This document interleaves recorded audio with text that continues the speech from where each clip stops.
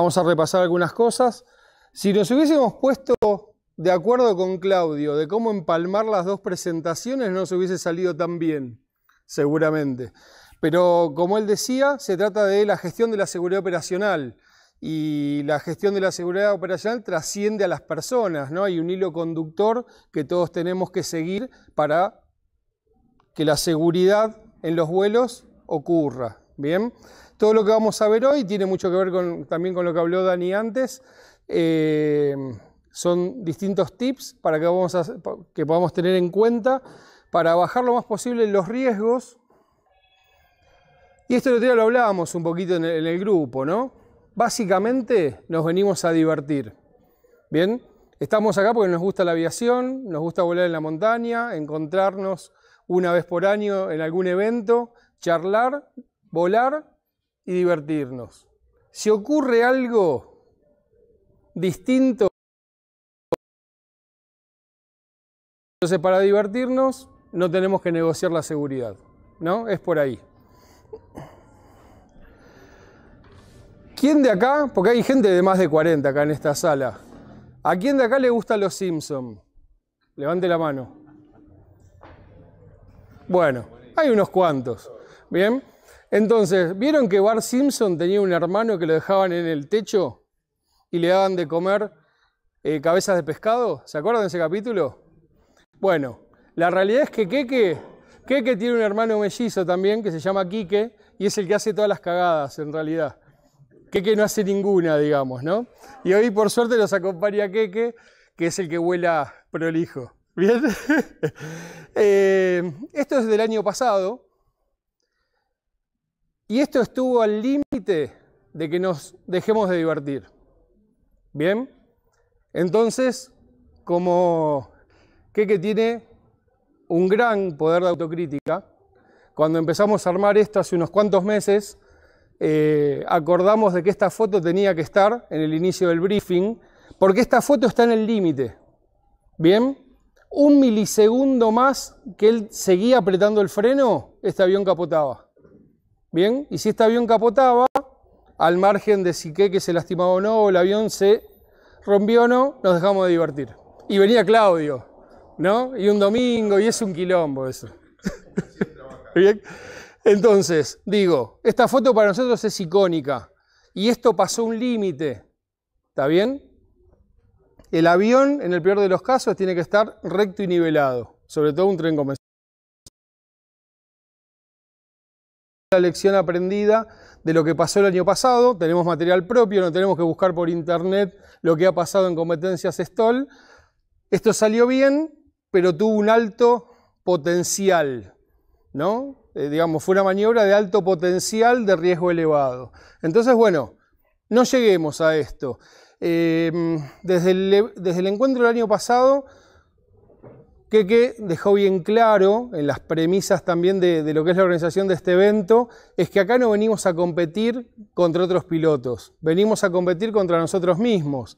Y la idea que si alguno compitió, entre comillas, o hizo las prácticas de despegue y aterrizaje corto el año pasado, y despegó en tantos metros y aterrizó en tantos metros, bueno, este año si entrenaron y si hicieron alguna mejora en el avión o si están volando más finitos o lo que fuera, bueno, capaz despegamos un metro antes y aterrizamos y frenamos en un metro antes también. La competencia tiene que ser contra uno mismo y no contra otro avión que puede ser parecido y ese tipo de cosas. Entonces, sigamos esa filosofía, creo que es la competencia más sana, es la que nos puede obligar de alguna manera a seguir entrenando y a seguir creciendo en nuestra carrera individual como pilotos, ¿no? de, optimizar el desempeño nuestro y también de, la aeronave, utilizar todo el desempeño de la aeronave.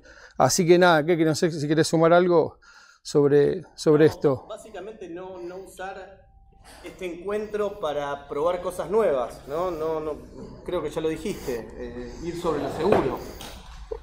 Eh, Estamos llevando los aviones a su máximo de performance en un montón de situaciones. Quedémonos del lado de la seguridad, no del lado de mejorar lo que vinimos haciendo hasta ahora. Es así, es así. Y bueno, nada, nos parecía súper icónica arrancar con esta foto. Hay un pequeño ajuste de, agenda, ¿no? Siguiendo con la misma línea de la seguridad operacional, estuvimos mirando toda la mañana, hasta hace un rato, los pronósticos.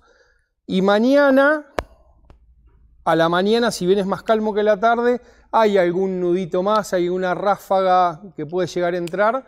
Y también hay una temperatura un poco superior a la del día domingo. Entonces, sumado a un poquito de viento y un poquito de temperatura, dijimos, demos vuelta a la agenda, Mañana hacemos bombardeo, que no exigimos la performance ni de nosotros como pilotos ni, de las aeronaves. Y pasamos lo que sería la competencia de stall para el domingo. Mantenemos horarios. Por ahí me preguntó, ¿pero el cordero cambia? No, el cordero no cambia. Es mañana a la una. Eso no cambia. Eso no cambia. Solamente estos dos ítems cambian de la agenda. ¿Ok? Así que de vuelta, eh, estamos analizando, tratamos de analizar o poner en el radar todos los peligros y jugar en la disminución de riesgos todo lo que se pueda. ¿Bien? Entonces el cambio de agenda tiene que ver con eso. Así que mañana, 8 de... y todo eso también. ¿Bien?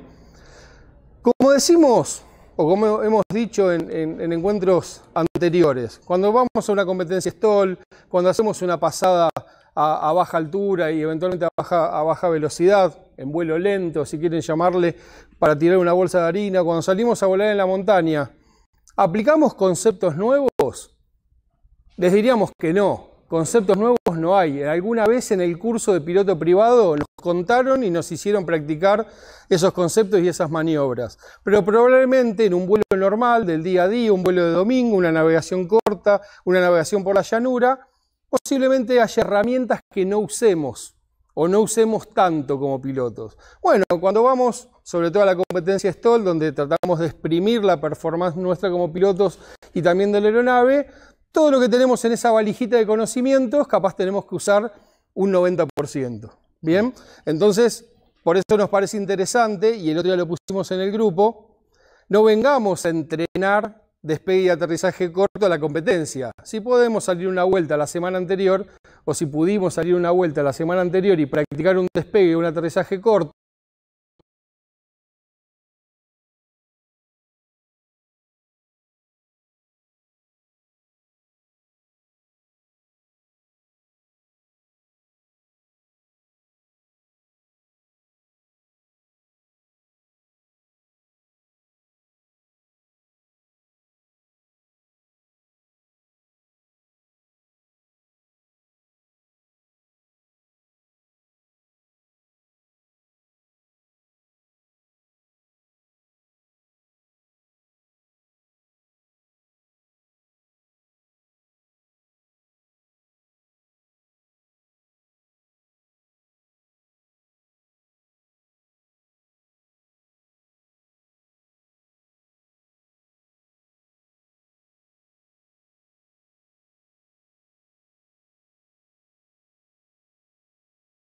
mañana nos sigamos divirtiendo y el, domingo también.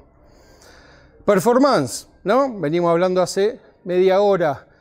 Tener claras las velocidades de pérdida, tener claras las velocidades de referencia de aproximación según la configuración del avión.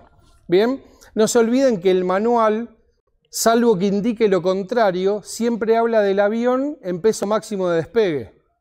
Bien, y probablemente mañana en la competencia ningún avión esté en esa consideración, porque va a ir mañana, el, el domingo. Probablemente vaya con un solo piloto, estemos moderados con el combustible.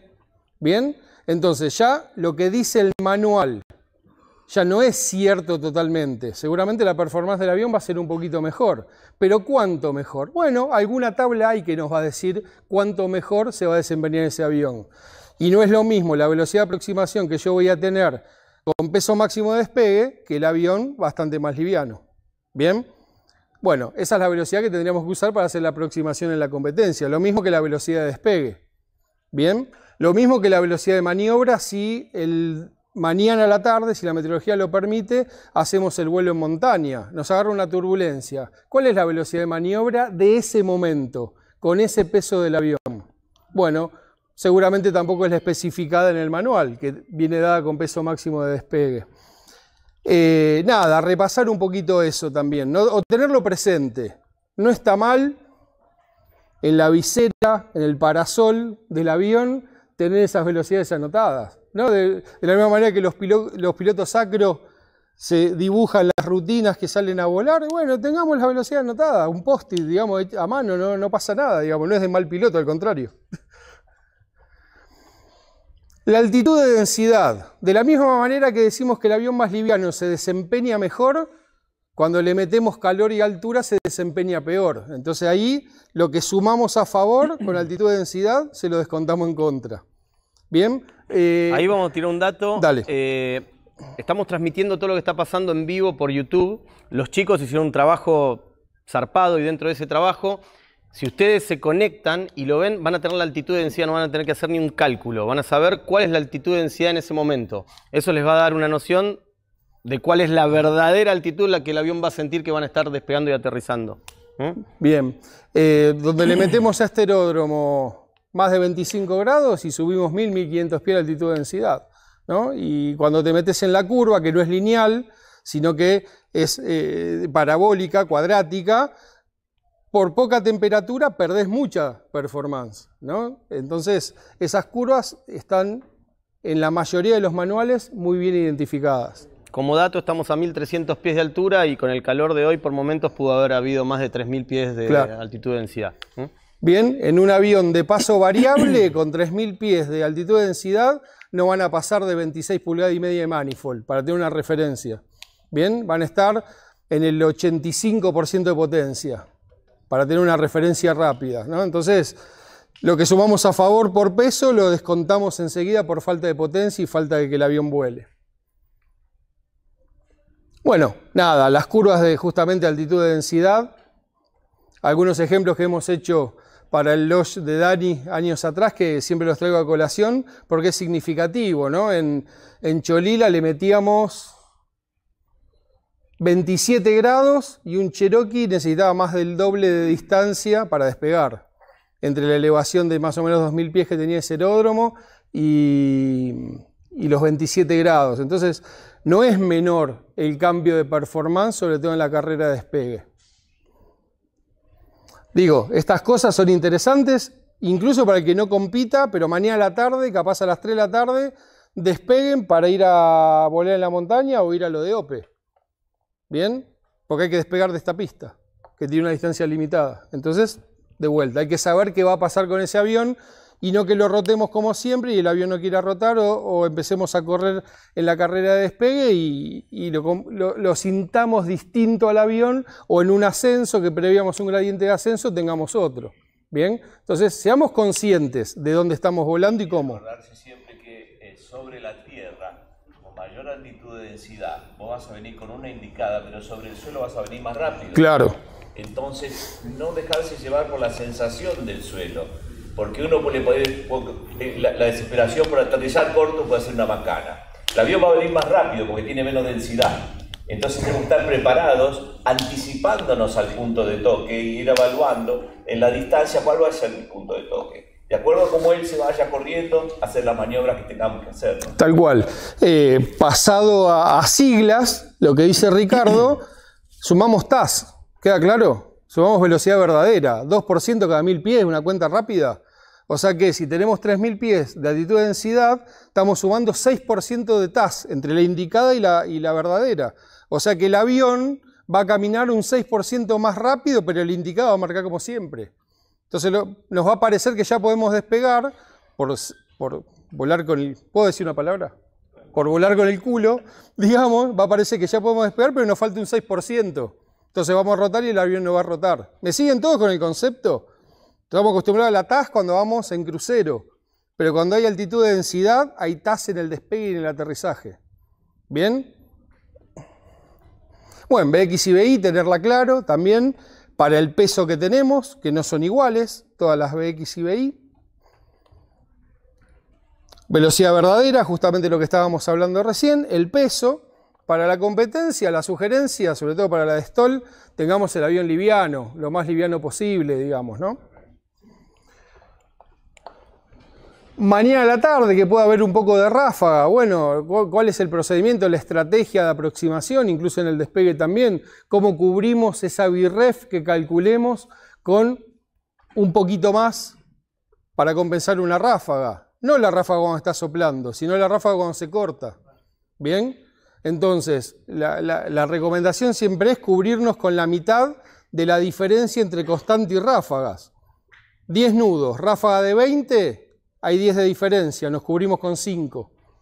Entonces, si la BIREF nos dio que tenemos que aproximar a 65 nudos, aproximamos a 70, porque esos 5 nos cubren cuando se corta la ráfaga y el avión se quiera descolgar. ¿Bien? Entonces, eso que nosotros habitualmente decimos, no, le damos un poquito más porque hay viento y hay ráfaga, o está rachado, como decimos acá en el sur. Bueno, pero ¿cuánto más? No es cualquier cuánto más.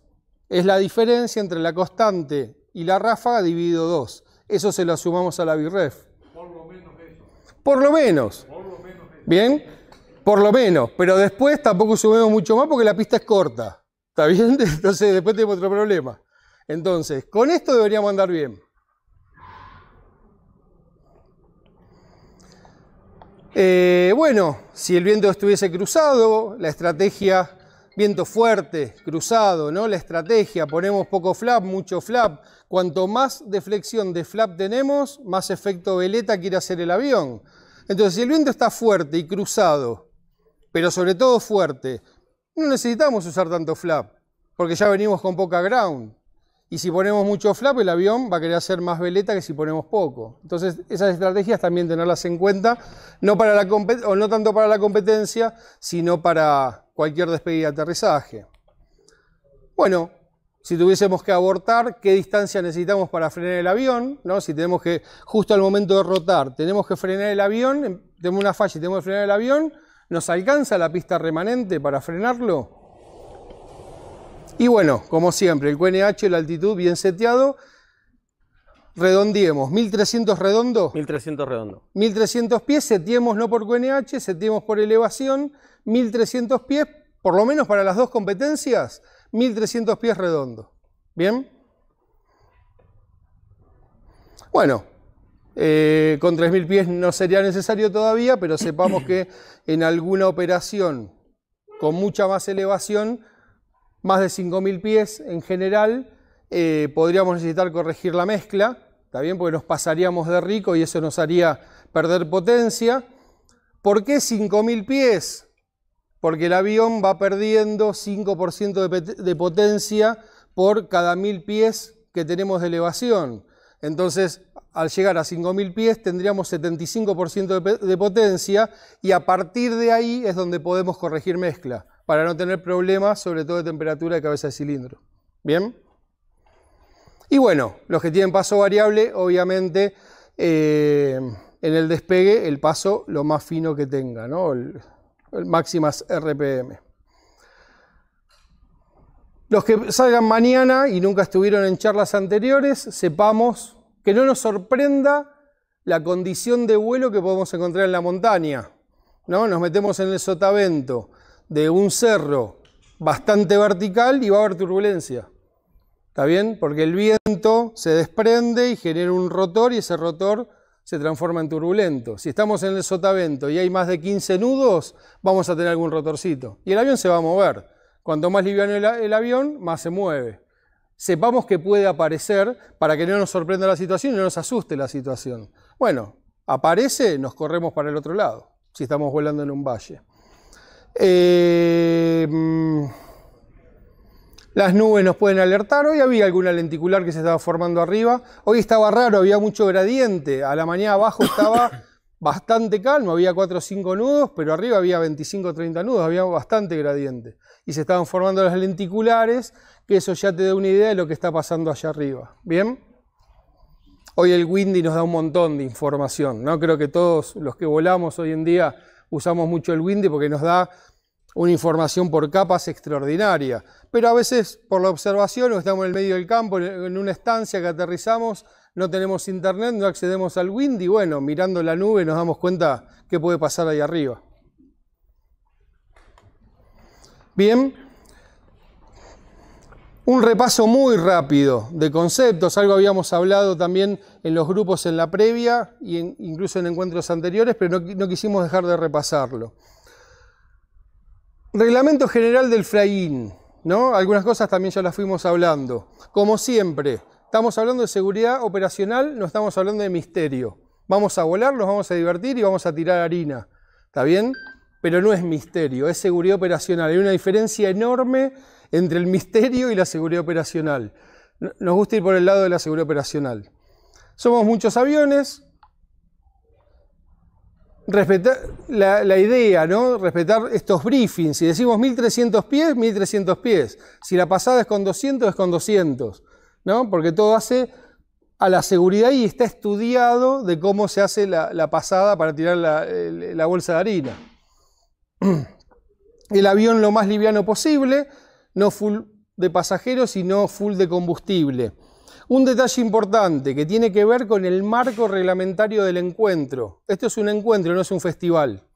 Con lo cual, en la parte de la actividad aeronáutica no puede haber público general. ¿Qué quiere decir esto? Todos los que estamos de esa, de esa cinta de peligro para el lado de la pista tenemos que ser pilotos. ¿Bien? Entonces, en el bombardeo no puede acompañar uno que no sea piloto. ¿Bien? Porque si acompaña uno que no es piloto, dejamos de ser encuentro y pasamos a ser festival. Parece una pavada, pero encuadra legalmente un evento de otro. Bien, entonces es muy importante eso al momento de las actividades de vuelo, obviamente para volar en la montaña no pasa nada, porque es un vuelo fuera de la competencia, digamos, ¿no?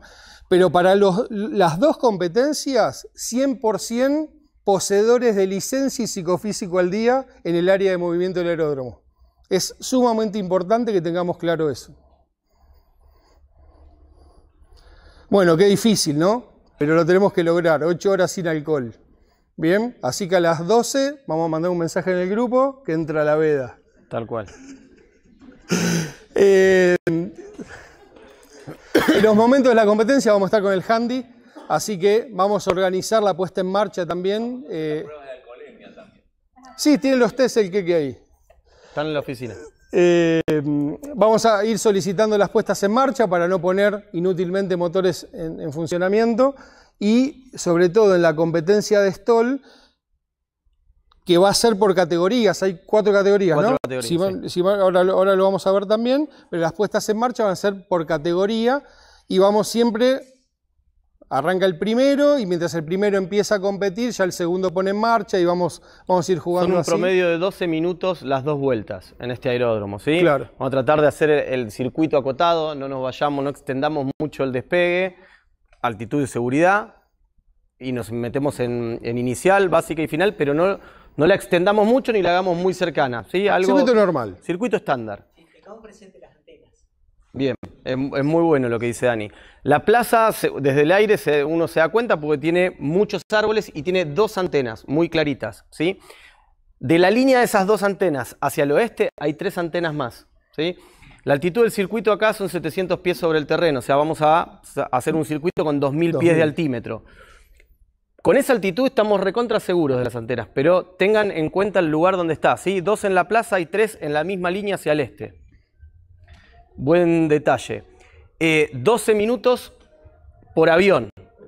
Cuando el, cuando el avión que está haciendo el primer despegue cuando el avión está haciendo el primer despegue, el que sigue ya tendría que estar en marcha calentando el motor, haciendo la prueba de motor y listo para que en el segundo aterrizaje ya ingrese a la pista para darle fluidez. Porque por seguridad vamos a tener un solo avión en el aire a la vez, no vamos a tener más de un solo avión. Entonces, agilicemos los tiempos con eso, no nos durmamos con, la puesta en marcha. Después del segundo aterrizaje, bueno, ahí me meto un poquitito más en, el tema de, la dinámica de la competencia. Van a alinear las ruedas del tren principal, si es convencional, Van a poner las ruedas de adelante, digamos, en la línea. Si es triciclo, la, rueda delantera queda por delante de la línea. Así siempre usamos el eje de la rueda del tren principal. Despegamos, ¿sí? el juez va a medir, se va a anotar una planilla, van a hacer el circuito y en el aterrizaje, ¿sí? Desde lo técnico no busquen tocar la línea. Prefieren pasarse de la línea que pecar de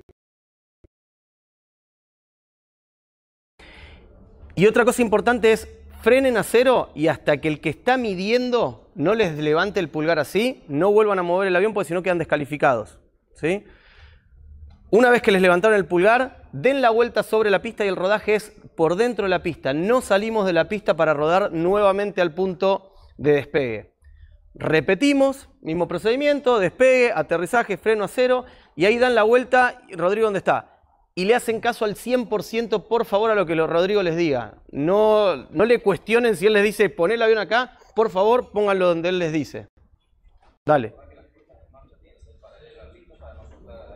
Buen detalle.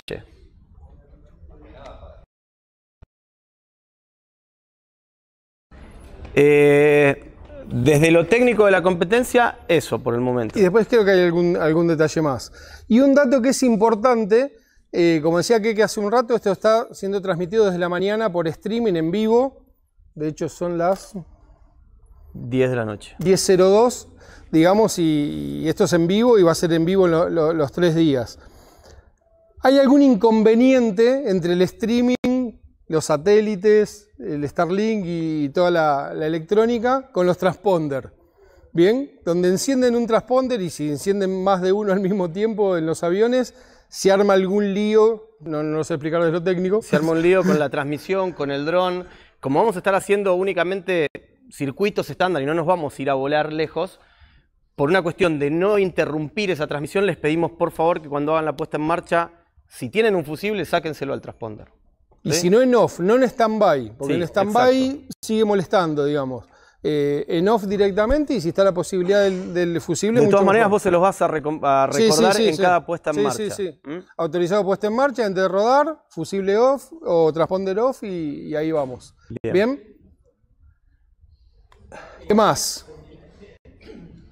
La pasada para el bombardeo. Ahora llegamos, ahora llegamos a eso. Eh, comunicar siempre en 123.5, limitado el uso de la frecuencia. Esto no tanto para la competencia, porque como decía, va a ser un solo avión, pero posiblemente para el sobrevuelo de la tarde o, la ida a lo de OPE, eh, ahí vayan varios aviones en, en caravana y limitemos, no dejemos de usar si tenemos una necesidad, pero tampoco, che, sacaste la foto, fíjate el cerro, digamos, eso tratemos de evitarlo porque si salimos 30 aviones va a estar entretenido, digamos, ¿no? Y además en 23.5 seguimos operando la pista. Bien. Eh, no se autorizan pasadas por pista, no se permiten maniobras acrobáticas o tirar humo. Creería que no hay ningún avión de esas características, no sé, Martín. ¿Martín de Zapala está? Bueno, no sé si el RB lo tiene con humo, él o no, pero tratemos de evitar esas situaciones. Lamentablemente es un tema de encuadre reglamentario y nosotros no pedimos autorización para acrobacia porque es un encuentro. Bien, de vuelta. No queremos entrar en la 119. ¿Estás de acuerdo, Claudio? Sí, sí. Entonces, estamos Está muy, muy picante, hay muchos ojos viendo lo que estamos haciendo, porque lo estamos mostrando mucho, hay una transmisión en vivo, entonces les pedimos esa colaboración. Bien, ¿sí? entiendo que no hay ningún avión con esa característica, eh, pero seamos prolijos en eso porque es lo que nos va a permitir seguir haciendo este tipo de encuentros y, laburarlos tranquilos, digamos. ¿no? Eh, bueno, eh, precaución, cables de alta tensión, próxima cabecera 04, creo que todos lo vieron, todos lo conocen, sepamos que están en la otra cabecera. Altitud de densidad, ajustar peso y balanceo si fuese necesario.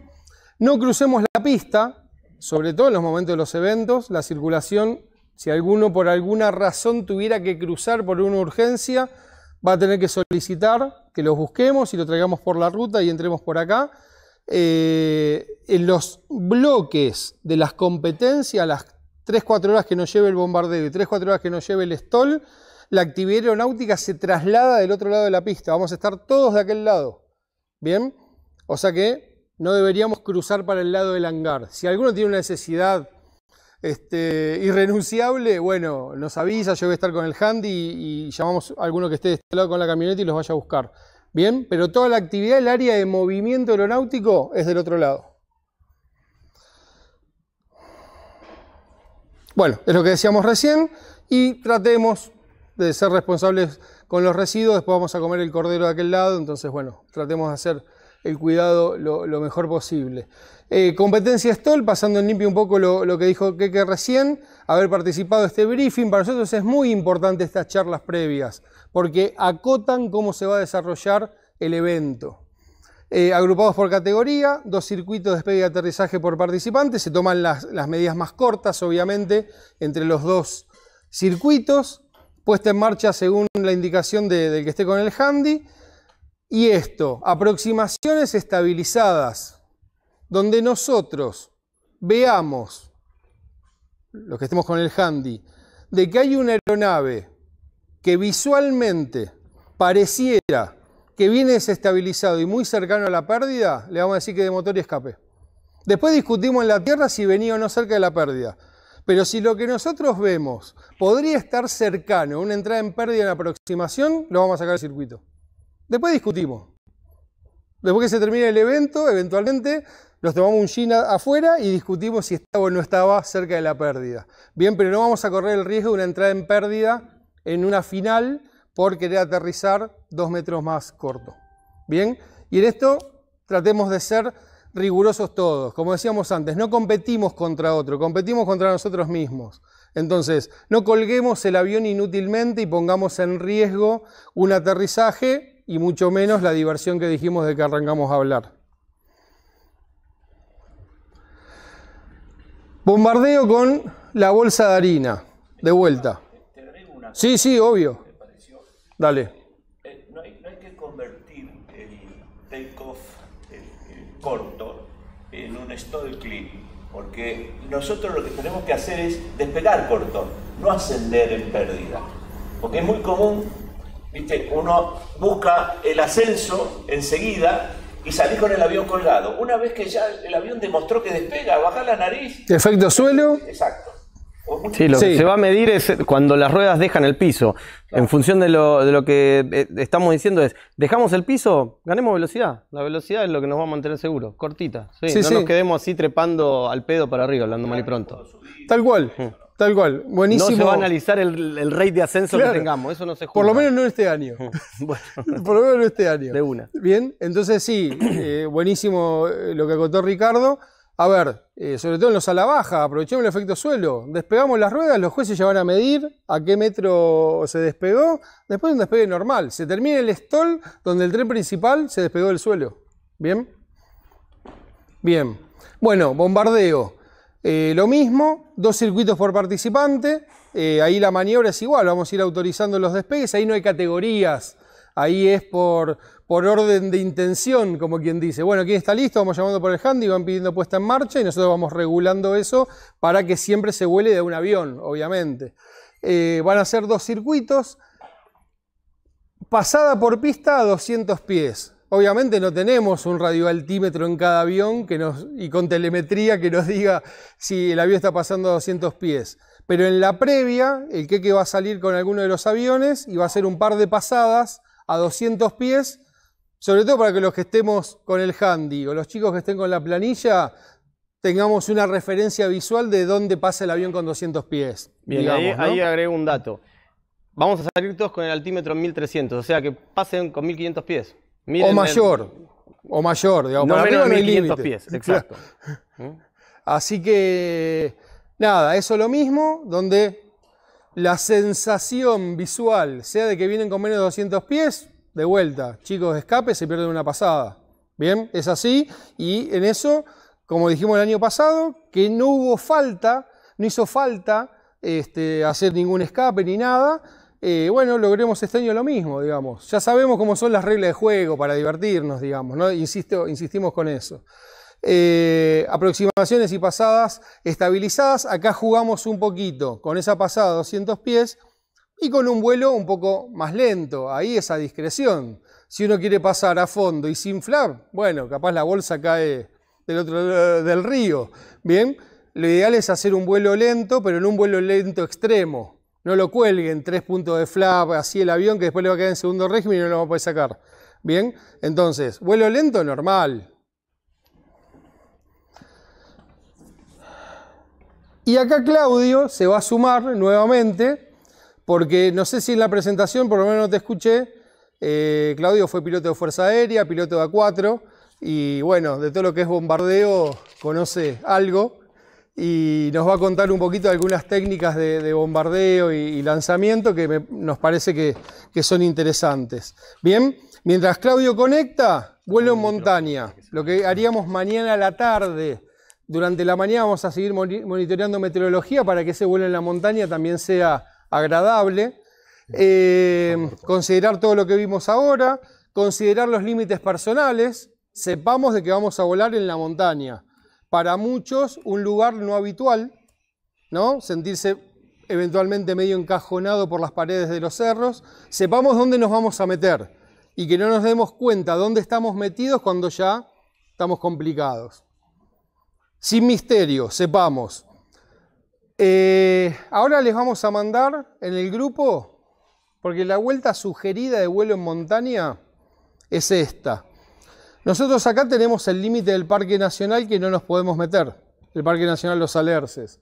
Entonces la vuelta sugerida es despegar de Trevelin, bordear el Río Grande, ir para el sur prácticamente con la prueba Corcovado, que es un pueblo que está acá cercano, pero es muy pintoresca toda esta zona de, de montaña, ¿bien?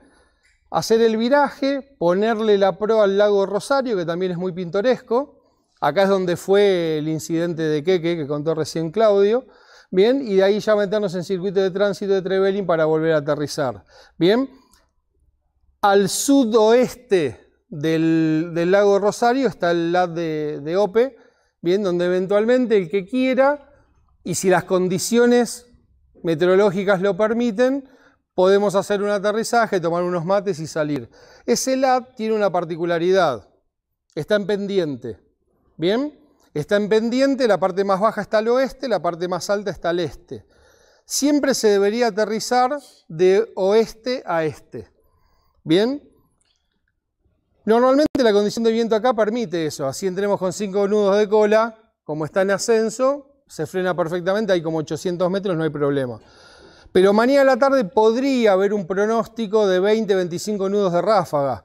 Entonces, por más pendiente que tenga para frenar, entrar con 20 nudos de cola nosotros mismos vamos a decir, hagamos el vuelo de montaña eventualmente, capaz no aterrizamos lamentablemente en lo de OPE a tomar esos mates, ¿bien? O un café o lo que sea. Así Claudio no trabaja.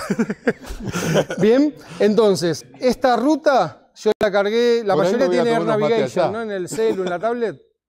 La mayoría tiene Air Navigation. Después les comparto, ahora no me acuerdo cómo se llama el archivo, pero es el que, el que bajás de acá son todos estos waypoints y la vuelta completa, esta que proponemos, son 62 millas. Para que tengan en cuenta también el combustible, digamos, ¿no? No, es una vueltita de un circuito de tránsito, son 62 millas, pero es muy pintoresco, vale la pena, ¿no? Para ver algún lago. Desde este punto, acá en el lateral al parque, acá está la represa, Futaleufú, de acá se ve perfectamente el paredón, digamos, eh, es interesante esa vueltita para dar, los que no la hayan hecho anteriormente sobre todo. Así que bueno, esto después se los compartimos en el grupo también junto con este PDF. ¿Cómo? El vuelo tanto el vuelo montaña como lo de OPE, vamos a estar viendo la condición meteorológica. ¿Bien? ¿Cómo va el cordero? Sí, claro, el post cordero. Pero va a ser después de las 5 de la tarde. Va a ser después de las. Ah, como va a venir la agenda, va a ser después de las 5 de la tarde. Terminado el bombardeo de acá. Bombardeo, Cordero. Claro. Sí, sobre y no donde, mientras bombardeo, salir a no, hacer No, no, no, no. El, el, módulo del bombardeo y del STOL es exclusivo. Es la única autoridad aeronáutica permitida. Actividad. Actividad. Sí, ¿qué dije? Autoridad. Ah, actividad, es que está la autoridad. ¿Bien? Se pone nervioso. Claro. Eh, mañana hay cuatro, por lo menos, aviones rezagados. Está Félix en Choele, viniendo para acá, y tres aviones de Comodoro viniendo también. Los vamos a tener que nebrar en algún momento, pero bueno, no vamos a estar haciendo stall, vamos a estar haciendo bombardeo, va a ser más fácil meterlos y que Rodrigo enseguida los libere y los, y los estacione. Están viniendo tres de Comodoro y uno de Choele en principio, capaz alguno más. ¿Ok? Bueno, y lo que contábamos de la pista y el circuito de montaña, que son 62 millas que dijimos recién, con 5.500 pies quedan con un margen por encima del pico más alto que estén transitando si, siguen la colorada que les vamos a pasar en el, en el Air Navigation. ¿Bien?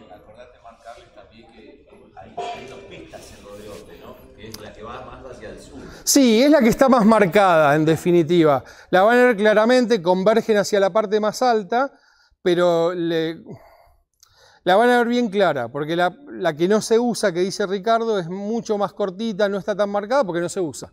Entonces la más ancha y la más larga es la que vamos a usar. Vamos a ver, no, no va a estar tan fácil para que lo podamos hacer, pero capaz mañana nos sorprende la meteorología real distinta. Bien, esto se lo vamos a compartir ahora. Y esto lo dejamos para después. Te paso el HDMI. No, nunca. Siempre estamos fuera de la terminal de Esquel. Así que. A las 8. Sí, 8 menos cuarto, hacemos un repaso, chequeamos la meteorología y mañana no hay categorías. O sea que a medida que van llegando, empezamos a poner en marcha y salimos.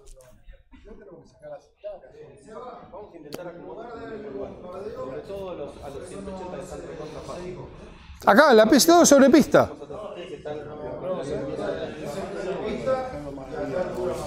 ¿200 pies? ¿Dónde está el ¿Qué blanco? qué? ¿Qué- ¿Dónde va a estar el blanco? El blanco lo vamos a dibujar mañana a la mañana a las 7 de la mañana. ¿Pero dónde? ¿Dónde? Lo vamos a dibujar prácticamente en la línea de la plataforma. ¿sí? Ok. Continuando la línea de la plataforma para que los que estén del otro lado se lo puedan ver, ¿sí? Es dejar un montón de margen de pista por seguridad. Porque está el cable. Cuanto más cerca de la cabecera 22, más seguro va a ser, lo que habíamos hablado con vos. Lo, lo más probable es que en el eje de la calle de rodaje que tenemos ahí hacia la pista, ahí está el blanco. El blanco es un cono con un círculo de 3 metros y un círculo de 7. Va a estar desplazado del borde de la pista hacia acá, porque vamos a estar todos de aquel lado. Entonces vamos a alejar esos pequeños proyectiles de harina de donde esté la gente. Bien. Los que no participamos, ¿de dónde? De enfrente. Enfrente. ¿Cuándo cruzamos para atrás? Van, van a llegar directamente para allá, ¿sí? Los, los que vengan con un taxi, si el taxi lo solicitaron al número que está acá en la puerta, ya sabe el, tax- el taxista a dónde llevarlos. Si no, le tienen que decir que es al lado de la entrada de la doquinera. Lo ponemos en el grupo después. Lo Y le podemos poner el point de GPS de dónde es la entrada. Para que ellos se lo compartan al, al taxista. Están todos en el grupo, ¿no? ¿No estás? Y Ahora te lo paso, yo te debo tener tu número. Ahora te lo. te- cuando él lo pasa, te lo reenvío. el número. ¿Voy? Dale. Bueno, lo que voy a compartirles ahora es, primero, no más. ¿sí? Esto vengo a contarles de experiencia de haber hecho bombardeo. ¿sí? Aunque no lo crean, este cuerpito entró en eso. ¿sí? En algún momento, cuando tenía pelo y cuando me no tenía todo lo que tengo que me, ahora me sobra, entraba en eso. Siempre volé eh, armamento convencional, ¿sí? No dirigido, no láser, no de esas cosas que recién ahora se está hablando. Bien. Hay algunos detalles para que sepan por qué se organiza el bombardeo de esta forma.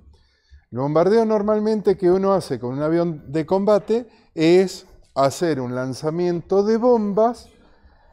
Hay dos tipos de bombas. Una bomba que es lisa, entonces es un cuerpo que se desprende del avión y vuela con el avión. ¿sí? O sea, cuando toca tierra, está justo abajo del avión. ¿sí? El otro eh, armamento que se usa ya es un armamento que tiene un dispositivo que lo frena. Puede ser un paracaídas o puede ser, hay otro tipo que tiene como unas aletas que se abren, las snack key que se llaman, esas se abren, hacen que se frene y la bomba se retrasa con respecto al avión. ¿A qué lleva eso? ¿Sí? Cuando uno... Bueno, e- estas son... Las bombas normalmente de paracaídas tienen esta forma. ¿Sí? El cuerpo siempre de una bomba es el mismo y se le pone un componente para frenarlo o no. Y lo que la otra cosa que varía es cómo se produce en la detonación de esa bomba. Depende lo que uno vaya a atacar, el tipo de espoleta, el tipo de nariz que le pone. ¿Sí? Entonces, eh, normalmente lo que uno busca, si tiene espoleta de nariz, es que cuando se desprenda del avión no me vaya a impactar un pájaro y vuele yo con el avión. Entonces, esas espoletas normalmente tienen un alambre, ¿sí? que va sostenido al avión. Cuando uno lanza la bomba, ese alambre se suelta, tiene como una hélice que empieza a dar vuelta, tiene un, elemento de relojería que alinea el tren de fuego. ¿Sí? Hasta que no se alinea, no puede producir la detonación. Te da el tiempo necesario para que se separe del avión.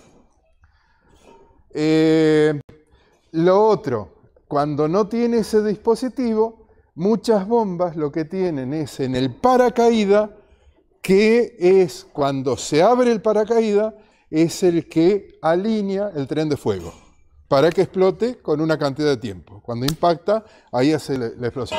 Bien, datos de bombas. Bien, cuando uno viene con el avión, ¿sí?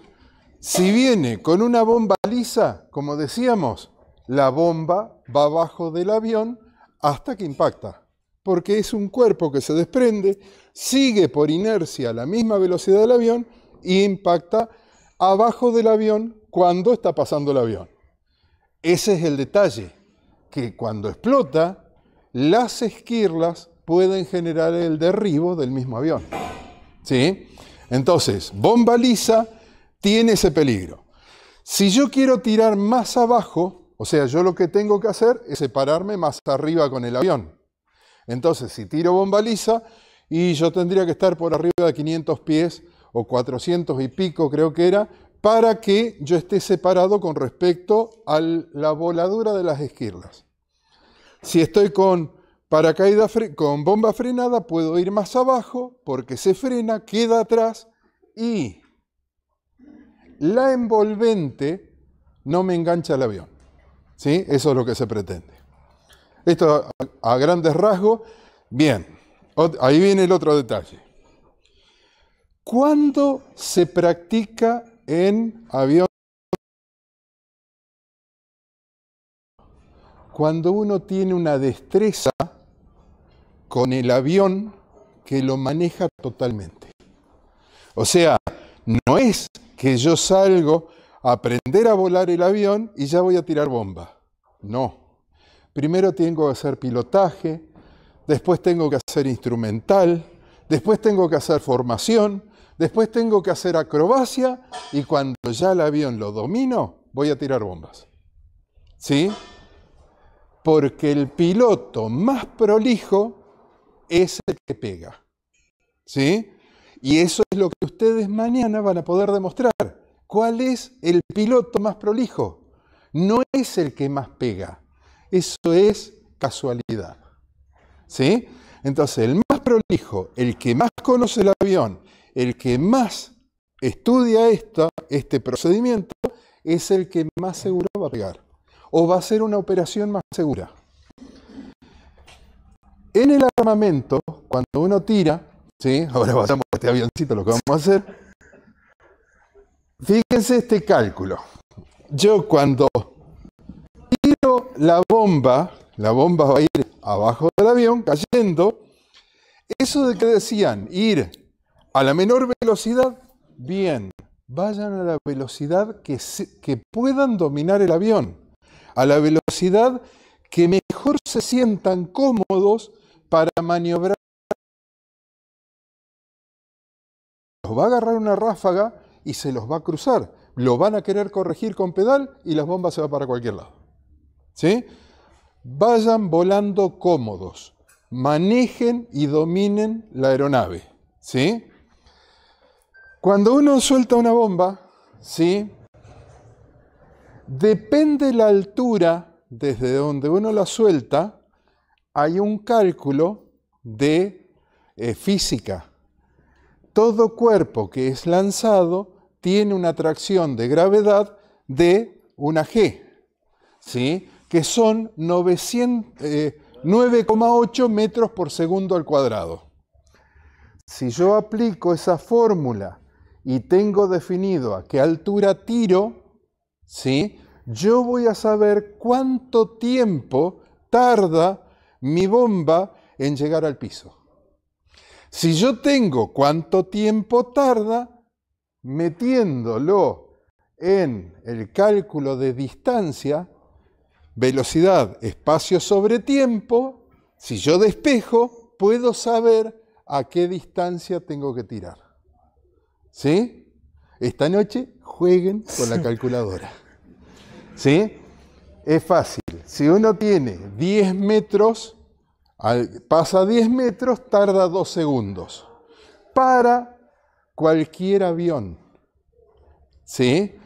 Multiplicado por la velocidad en nudos convertida a metros, yo puedo saber cuánto antes tengo que tirar.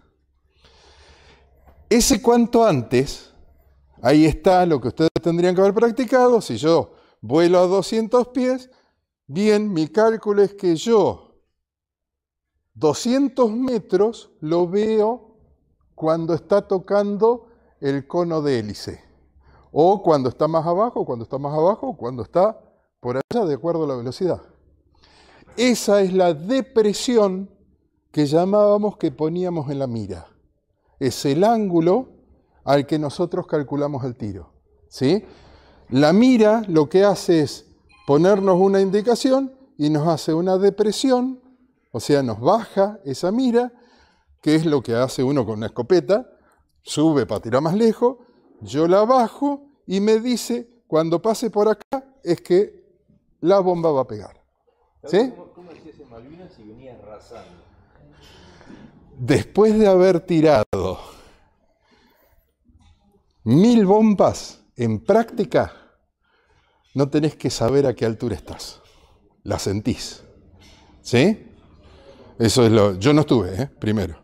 Estaba todavía en escuela, pero bueno, a lo último vos venís, enfrentás el blanco diciendo, acá les va a pasar, puse mil, 1300, cuando esté a 1500, enfrento el blanco, y acá qué mejor, enfrento, me pongo tranquilo desde lejos, estabilizo el avión, estabilizo el avión en el eje de la pista y voy a tirar.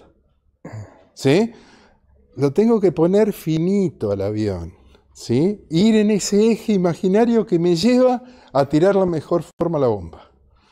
Entonces, vengan cómodos, desde lejos, enfréntenlo. Si lo quieren enfrentar desde cerquita, no van a pegar. Ese es el cálculo que se hace.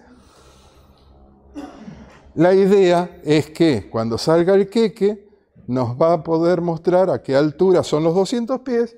Y si- yo le decía al queque, si te conseguís un arco de fútbol, te sentás y vas a ver que los aviones que pasan abajo de eso están pasando por debajo. Listo. Este es el blanco que usábamos nosotros para tiro rasante. No era con círculos, sino que eran con callejones. Entonces podíamos decir, quedó corta, ¿sí?